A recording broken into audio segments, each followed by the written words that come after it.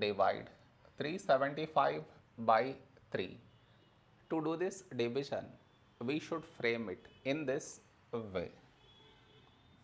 375 here, 3 here.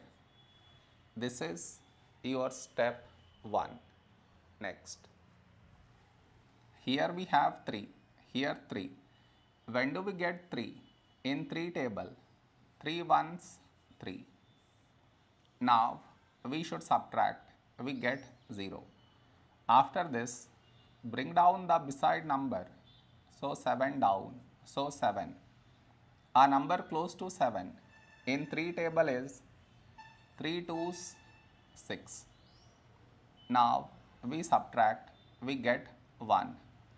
After this, bring down the beside number, so 5 down, so 15. When do we get 15? In 3 table, 3 fives 15. Now we subtract, we get 0. After this, no more numbers to bring it down. So we stop here. This is our remainder, this is our quotient.